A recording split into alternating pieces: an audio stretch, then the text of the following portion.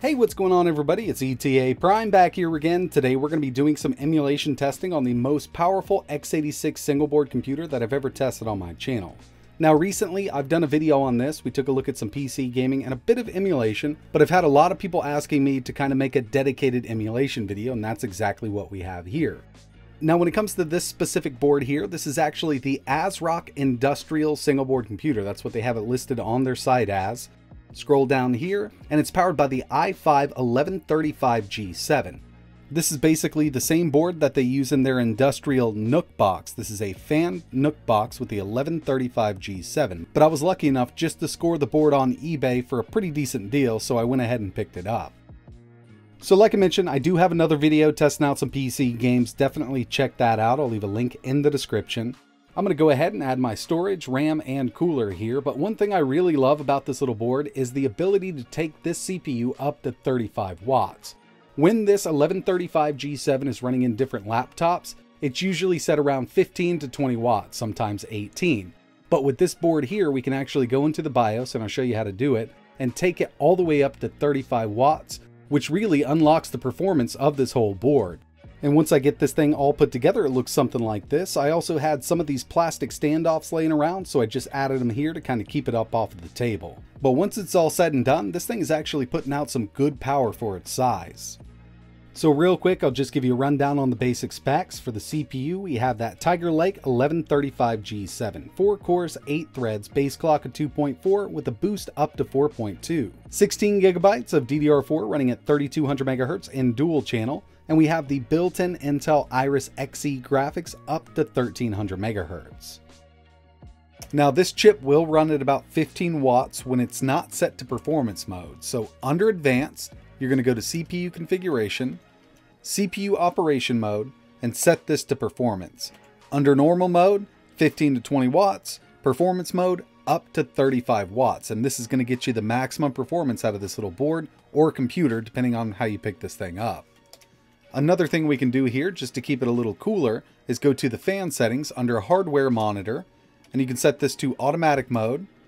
And by automatic mode, you can actually set this yourself or full on. I leave it in automatic mode, and I have this set to 6. Nice and quiet, keeps it cool, and I'm at full performance with this 1135G7. Make sure you save it and exit. Alright, so like I mentioned, I've done a video on this board already testing out some PC games and it actually performs way better than I thought it would. As you can see, we have the i5 1135G7. I have 16 gigabytes of RAM running in dual channel at 3200 megahertz and the built-in Intel Iris Xe graphics.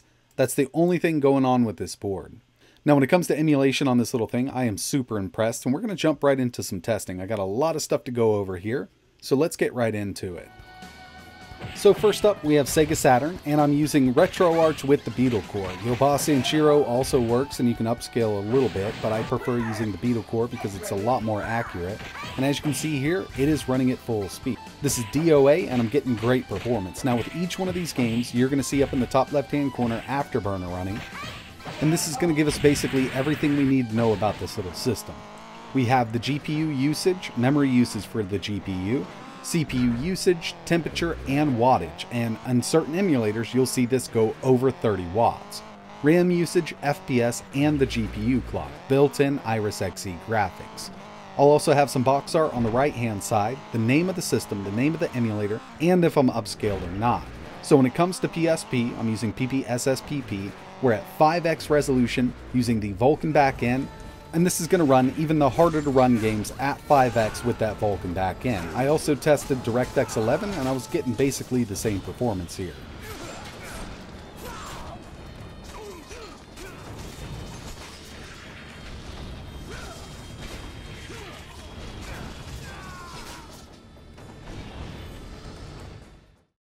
Taking it up a bit to GameCube and Wii using the Dolphin emulator, here we have Rogue Squadron 2, a notoriously hard game to emulate. Now I did try this at 4K, but I was getting some stutters, uh, actually some really bad stutters. But when it comes to the easier to emulate games for Dolphin, you can run them at 4K, even Wii games at 4K. Sonic Colors, using that same emulator, Vulkan backend, at 4K. So yeah, we definitely have more than enough power to run these GameCube and Wii games at full speed. Some of them, you may have to drop them down to 2K and even 1080p, but when it comes to a majority of the stuff I personally like to emulate, it will run at 4K.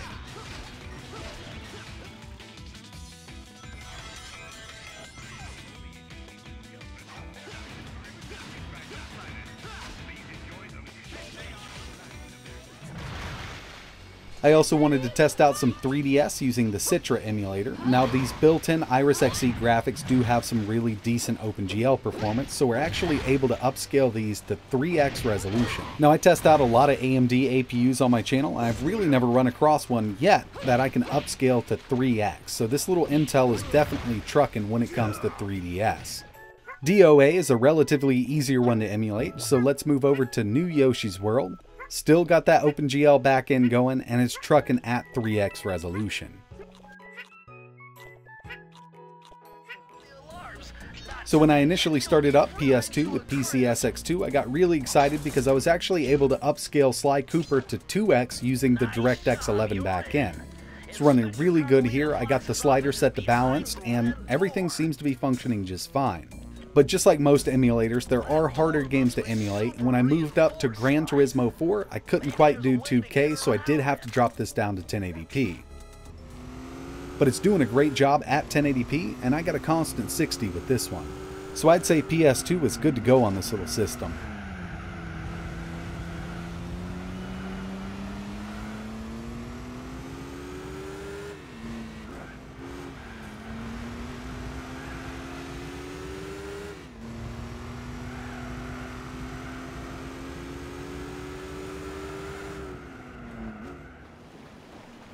Moving up to PS3 using RPCS3 and the Vulkan backend, I was blown away by the performance here. I mean, this is a mobile chip with integrated graphics and it's able to run a lot of these games at full speed. Here we have Demon Souls. We're at 30 FPS here. That CPU's pulling around 33 watts and it's running great. I also tested a few more here just to make sure this wasn't a fluke. Here's Tekken 6, and again, it's running at full speed. We're at 60 FPS. This is fully playable on this machine. And as you can see, that wattage on the CPU has jumped up a bit. Now, seeing how well these first two games ran, I did want to test one of the harder ones to emulate, which is Skate 3. And it really did try its hardest to stay at 60 FPS, but I do get some dips when there's a lot of people on screen. Over here in this little skate park area, it seems to be performing pretty well but if you go out into the open, it will drop down to around 54 FPS.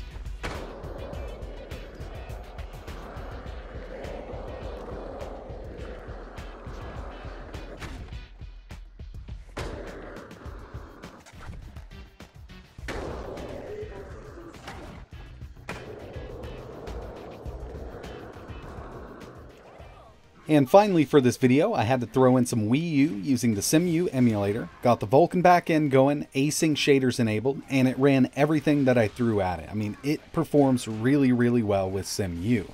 I tested Bayonetta, Mario Kart, and even Breath of the Wild. And when it comes to Breath of the Wild, you will have to set this to 30 FPS, because if you have it set to 60 in FPS++, it will only do about 54 FPS. But personally, I don't mind playing this at a lock 30 FPS. As you can see, that CPU is pulling 35 watts here, but it is running really, really well. And I mean, given that this is a mobile chip, when it comes to all the emulators that I tested in this video, I think this thing is rocking out. It is a awesome little performer. So when it comes to emulation on these mini x86 PCs or x86 boards, this is definitely one of the best performers. This is actually outperforming some of the bigger AMD APU powered systems that I test on my channel. Now, like I mentioned, you can get this in the industrial form factor like I have here, or you can pick up one of their fan NUC boxes. I guess it's the NUC Box 1135G7. And this is the same chip that's coming in the new 11th gen Intel NUCs. And I'm wondering if we can up the wattage in those also. I've been trying to get my hands on one, but I haven't been able to find one that's in stock. So if you're looking for a great performing super small form factor board or mini PC, this is something I can recommend. Either the 1135G7 or if you want to up it just a little bit, you can go with the 1165G7, which will offer better performance.